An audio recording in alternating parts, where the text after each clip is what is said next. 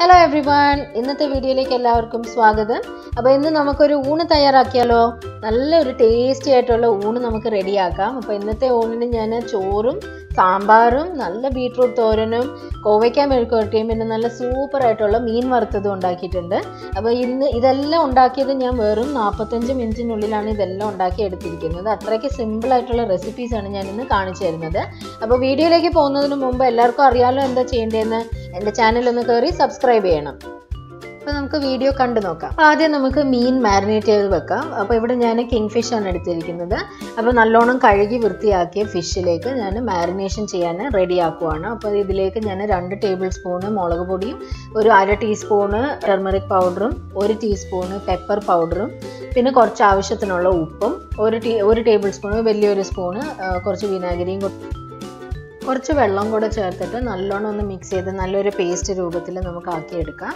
എന്നിട്ട് ഈ പേസ്റ്റ് ഞാൻ മീനിലേക്ക് നല്ലോണം ഒന്ന് പുരട്ടി വെക്കുകയാണ്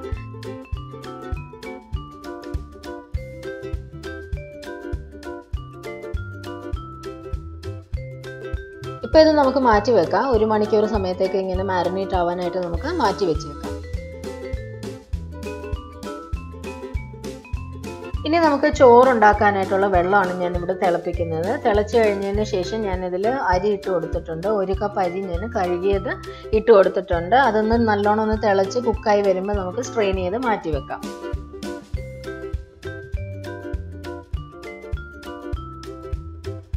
കറി ഉണ്ടാക്കുന്നത് ഞാൻ സാമ്പാറാണ്. അപ്പോൾ അതിന്റെ ദാൽ ഞാൻ ആദ്യമേ വേവിച്ച് വെക്കുകയാണ് ഹാഫ് കപ്പ് ദാൽ എടുത്തിട്ടുണ്ട് ഞാനിവിടെ.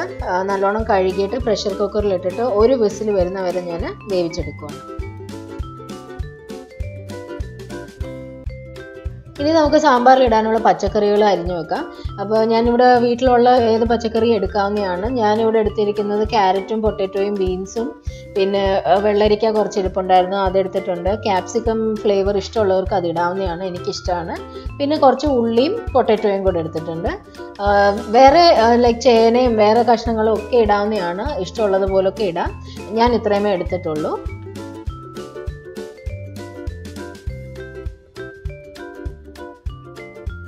ഇതിന്റെ തൊലിയെല്ലാം ഒന്ന് കളഞ്ഞിട്ട് അത് ക്യാരറ്റിന്റെയും പൊട്ടറ്റോന്റെയും ഒക്കെ തൊലിയൊന്ന് ഞാൻ പീലർ വെച്ചൊന്ന് പീൽ ചെയ്തെടുത്തിട്ടുണ്ട്. ഇനി ഇത് നമുക്കൊന്ന് കഴുകി എടുത്തിട്ട് കൊണ്ടുവരാം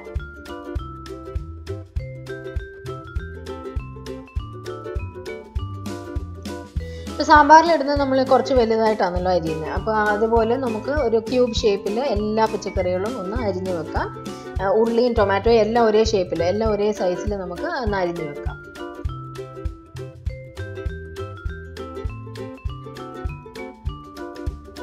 കുറച്ച് ചൂടുവെള്ളത്തിൽ ഞാൻ ചെറിയൊരു നാരങ്ങ വലുപ്പത്തിലുള്ള പുളി ഞാൻ സോക്ക് ചെയ്ത് വെച്ചിട്ടുണ്ട്. അപ്പോൾ ഈ വീഡിയോയിൽ ഞാനത് കാണിക്കാൻ വിട്ടുപോയതാണ്. അപ്പോൾ അതും കൂടെ ചെയ്ത് വെക്കണം. ഇപ്പോൾ പച്ചക്കറികളൊക്കെ നമ്മൾ ഇങ്ങനെ നേരത്തെ തന്നെ അരിഞ്ഞു വെക്കുവാണെങ്കിൽ നല്ല എളുപ്പത്തിൽ തന്നെ നമുക്ക് കറികളും കൂട്ടാനും ഒക്കെ ഉണ്ടാക്കിയെടുക്കാൻ പറ്റുന്നതാണ്. അപ്പം ഞാനാണെങ്കിൽ ഇങ്ങനെ രണ്ട് മൂന്ന് ഐറ്റംസ് ഒക്കെ ഉണ്ടാക്കുമ്പോൾ ഞാൻ നേരത്തെ തന്നെ പച്ചക്കറികളും അതിനാവശ്യമുള്ള സാധനങ്ങളും എല്ലാം ഞാൻ അവിടെ റെഡിയാക്കി അവിടെ വെക്കും. എന്നിട്ടാണ് ഞാൻ ചെയ്തെടുക്കുന്നത്. അപ്പോൾ നേരത്തെ പെട്ടെന്ന് എളുപ്പത്തിൽ തന്നെ നമുക്കിത് ചെയ്തെടുക്കാൻ പറ്റുന്നതാണ്. ഇതിലേക്ക് ഇനി ഞാൻ രണ്ട് പച്ചമുളക് അരിഞ്ഞിടുവാണ്. ജസ്റ്റ് ഒന്ന് സെന്ററിൽ അങ്ങനെ സ്ലിറ്റ് ചെയ്തിട്ടാൽ മതി. പിന്നെ കുറച്ച് കറിവേപ്പിലയും കൂടെ ഞാൻ ചേർത്ത് കൊടുത്തിട്ടുണ്ട്. ഇപ്പോൾ നമ്മുടെ സാമ്പാറിന്റെ ദാൽ റെഡി ആയിട്ടുണ്ട്. കുക്കായി വന്നിട്ടുണ്ട്. ഒരു വിസിൽ കഴിഞ്ഞിട്ടുണ്ട്.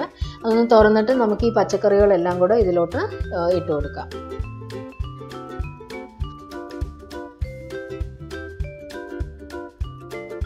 ഇനി ഇതിലേക്ക് ഞാൻ ഒരു അര ടീസ്പൂൺ മഞ്ഞൾപ്പൊടിയും കുറച്ച് ഉപ്പും പിന്നെ ഒരു ചെറിയൊരു പീസ് കായം കായം കൂടി ഇട്ട് കൊടുത്തിട്ടുണ്ട്. പിന്നെ ആവശ്യമുള്ള വെള്ളവും കൂടെ ഒരു രണ്ട് ഗ്ലാസ് വെള്ളം ഞാൻ ഒഴിച്ചു കൊടുത്തിട്ടുണ്ട്. ഇനി ഇത് ഞാനൊന്ന് അടച്ചു വെച്ചിട്ട് ഒരു വിസിലിലേക്ക് ഞാൻ കുക്ക് ചെയ്തെടുക്കുക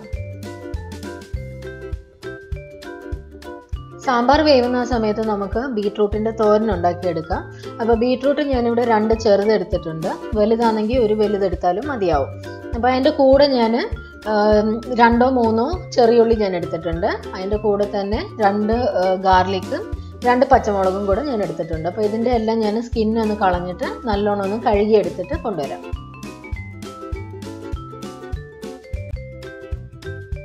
ബീട്രൂട്ട് തോരൻ നമുക്ക് എല്ലാവർക്കും ഇഷ്ടമുള്ളൊരു കാര്യമാണ് ഇവിടെ. മോക്കാണെങ്കിലും നല്ല ഇഷ്ടമാണ് ബിക്കോസ് അതിന്റെ കളറൊക്കെ കാണാനേ. കളറ് ചോറിന്റെ അകത്ത് ഇളക്കുമ്പോൾ ഒക്കെ നല്ല കളർ വരുമല്ലോ. അത് കാണുമ്പോൾ നല്ല ഇഷ്ടമാണ് അവൾക്ക് കഴിക്കാൻ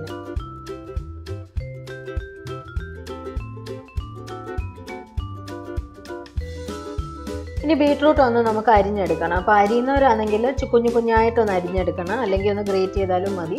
അല്ല ചോപ്പർ ഉണ്ടെന്നുണ്ടെങ്കിൽ അതും ഈസി ആയിട്ട് നമുക്ക് ചെയ്തെടുക്കാവുന്നതാണ്. അപ്പോൾ ബീട്രൂട്ട് നല്ലോണം ഒന്ന് ഗ്രേറ്റ് ചെയ്തെടുത്തിട്ടുണ്ട്. ഇനി ഇതിലേക്ക് ഞാൻ ചെറിയുള്ളിയാണ് അരിഞ്ഞിടുന്നത്. ജസ്റ്റ് തിന്നായിട്ടൊന്ന് അരിഞ്ഞിട്ടാൽ മതി. എന്നിട്ട് പച്ചമുളകും അങ്ങനെ ഒന്ന് നടുവേ കീറിയിട്ട് രണ്ടായിട്ട് മുറിച്ചങ്ങിടാം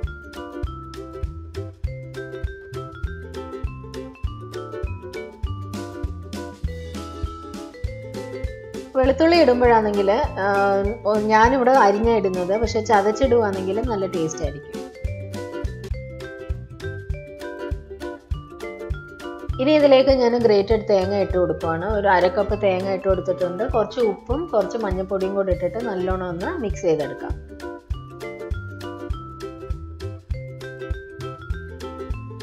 ഇനി ഒരു പാനിലേക്ക് ഞാൻ കുറച്ച് എണ്ണ ഒഴിച്ചു കൊടുക്കുകയാണ് എണ്ണ ചൂടാവുമ്പോൾ കുറച്ച് കടുകും പിന്നെ കുറച്ച് കറിവേപ്പിലയും കൂടി ഇട്ടിട്ടുണ്ട്. ഇനി ഇതിലേക്ക് ഞാൻ ബീട്രൂട്ട് മിക്സ് ചെയ്ത് വെച്ചിരിക്കുന്നതും കൂടി ചേർത്ത് കൊടുക്കുകയാണ് ആൻഡ് കുറച്ചൊന്ന് ഒന്ന് വഴറ്റിയിട്ട് അതിലേക്ക് കുറച്ച് വെള്ളവും കൂടി ഒഴിച്ചിട്ട് ഞാനിതൊന്ന് ഒതുക്കി വെച്ചിട്ട് ഞാൻ കവർ ചെയ്തിട്ട് കുക്ക് ചെയ്തെടുക്കുവാണ്. ഒരു അഞ്ച് മിനിറ്റ് മീഡിയം ഫ്ലെയിമിൽ കുക്ക് ചെയ്തെടുക്കാം. അപ്പോഴത്തേക്ക് ബീട്രൂട്ട് എല്ലാം നല്ലോണം ഒന്ന് വെന്ത് വരും. അത് കഴിഞ്ഞിട്ട് ഒരു അഞ്ച് മിനിറ്റ് ഞാൻ ജസ്റ്റ് ഒന്ന് വഴറ്റി അപ്പോൾ ബീട്രൂട്ട് തോരൻ റെഡി ആയിട്ടുണ്ട്. നമുക്ക് മാറ്റി വെക്കാം. ഇനി സാമ്പാറിലേക്കുള്ള മസാലയാണ് ഞാൻ റെഡിയാക്കുന്നത് ഇനി ഇത് പാനിൽ എണ്ണ ചൂടാക്കിയിട്ട് കുറച്ച് കടുവും പിന്നെ കറിവേപ്പിലയും കൂടി ഇട്ടിട്ടുണ്ട്. ഇനി മസാലപ്പൊടികൾ ചേർക്കാം. ഒരു രണ്ട് സ്പൂണ് ഞാൻ സാമ്പാർ പൊടിയും ഒരു വലിയ സ്പൂണ് കൊറിയാണ്ടർ പൗഡറും ചില്ലി പൗഡറും പിന്നെ കുറച്ച് ഉലുവാപ്പൊടിയും പിന്നെ കുറച്ച് ജീരകപ്പൊടിയും ഇട്ടിട്ടുണ്ട്. അത് ലോ ഫ്ലെയിമിൽ ഇട്ടിട്ട് ഞാൻ എണ്ണയ്ക്കകത്തിട്ട് നല്ലോണം ഒന്ന് വഴറ്റിയെടുക്കുന്നുണ്ട്. അതിന്റെ റോ സ്മെല്ലെല്ലാം പോകുന്നവരെ വഴറ്റിയെടുക്കുന്നുണ്ട്. ഇനി ഇതിലേക്ക് ഞാൻ കുറച്ച് പുളി ചേർത്ത് കൊടുക്കുന്നുണ്ട്. ഞാൻ ചെറിയൊരു കഷ്ണം പുളി ഞാൻ വെള്ളത്തിൽ ഇട്ട് വെച്ചിട്ടുണ്ടായിരുന്നു. അപ്പോൾ ആ പുളിയാണെങ്കിൽ ഞാൻ പിഴിഞ്ഞിട്ട് ഞാൻ ഇതിൽ ഇട്ട് കൊടുത്തിട്ടുണ്ട്. അപ്പോൾ ഇത് നല്ലോണം ഒന്ന് എണ്ണ തെളിയുന്ന വരെ ഞാൻ ഫ്രൈ ചെയ്തിട്ട് ഇതിലേക്ക് ഞാൻ ഒഴിച്ചു കൊടുക്കുവാണ്. സാമ്പാറിലേക്ക് ഞാൻ ഒഴിച്ചു കൊടുക്കുവാണ്.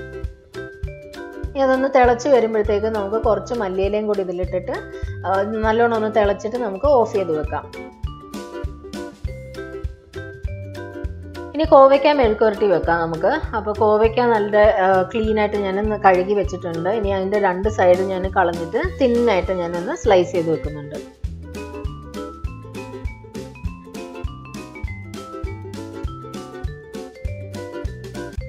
ഇനി ഇതിലേക്ക് ഞാൻ രണ്ട് പച്ചമുളക് കീറിയിടുവാണ്. പിന്നെ കുറച്ച് മഞ്ഞൾപ്പൊടിയും കുറച്ച് ഉപ്പും കൂടി ഇട്ടിട്ട് ജസ്റ്റ് ഒന്ന് മിക്സ് ചെയ്തെടുക്കുകയാണ് വളരെ സിമ്പിൾ രീതിയിലാണ് ഞാൻ ഈ മെഴുക്കുരട്ടി വെക്കുന്നത്. ഇനി ഒരു പാൻ ചൂടാക്കിയിട്ട് കുറച്ച് എണ്ണ ഒഴിച്ചു കൊടുക്കുവാണ്. എണ്ണ ചൂടായി വരുമ്പോൾ നമുക്ക് മിക്സ് ചെയ്ത് വെച്ചിരിക്കുന്ന ഈ കോവയ്ക്ക നമുക്ക് ഇട്ട് കൊടുക്കാം. എന്നിട്ട് നല്ലോണം ഒന്ന് വഴറ്റി കൊടുക്കാം. കുറച്ച് വെള്ളം ഇടാം. അധികം വെള്ളം ആയി പോകരുത്. കുറച്ച് വെള്ളം ഇട്ടിട്ട് ജസ്റ്റ് ഒന്ന് അടച്ച് അത് ഒന്ന് കുക്കായി വരാനായിട്ട് നമുക്ക് ഒരു ഫൈവ് മിനിറ്റ്സ് നമുക്ക് കുക്ക് ചെയ്തെടുക്കാം. എന്നിട്ട് നമുക്ക് ജസ്റ്റ് ഒന്ന് വഴറ്റി കൊടുക്കാം. ഒരു ബ്രൗൺ കളർ ആവുന്ന വരെ നമുക്ക് വഴറ്റിയെടുക്കാം.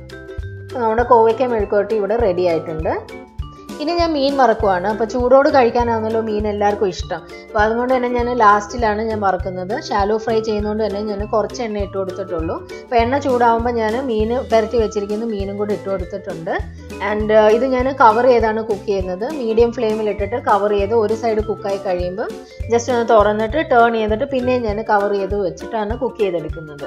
ഓക്കെ അപ്പം പെട്ടെന്ന് തന്നെ കുക്കായി വരും. മീൻ പെട്ടെന്ന് തന്നെ കുക്കായി വരും. അതുമല്ല നമ്മുടെ സ്റ്റൗവിലൊന്നും എണ്ണ തെറിക്കാതെ നീറ്റായിട്ട് തന്നെ ഇരിക്കുകയും ചെയ്യും. അപ്പോൾ ഈ മീനങ്ങ് മാറ്റി വെക്കാം. അപ്പം നമ്മുടെ സിമ്പിൾ ഊണ് റെഡി ആയിട്ടുണ്ട്. അപ്പോൾ ഞാനിവിടെ ചോറ് വിളമ്പിയിട്ടുണ്ട്. ബീട്രൂട്ട് തോരനും പിന്നെ കുറച്ച് കോവയ്ക്ക മെഴുക്ക് പുരട്ടിയതും പിന്നെ ഇതിലേക്ക് ഞാൻ സാമ്പാർ ഒഴിച്ചു കൊടുക്കുകയാണ് കുറച്ച് മാങ്ങ അച്ചാറും കൂടെ ഞാൻ വെച്ചിട്ടുണ്ട്. വറുത്ത് വെച്ചിരിക്കുന്ന മീനും കൂടെ ഞാൻ ഇട്ടിട്ടുണ്ട്. അപ്പോൾ ഇത് നല്ല ടേസ്റ്റി ആയിട്ട് തന്നെ നമുക്ക് ഒരു കംപ്ലീറ്റ് മീലായിട്ട് നമുക്ക് കഴിക്കാൻ പറ്റുന്നതാണിത്. എല്ലാവരും ട്രൈ ചെയ്ത് നോക്കണം. ട്രൈ ചെയ്തിട്ട് നിങ്ങളുടെ ഫീഡ്ബാക്ക്സ് അറിയിക്കണം. അപ്പോൾ വീണ്ടും വരുന്നത് വരെ thank you so much take care and bye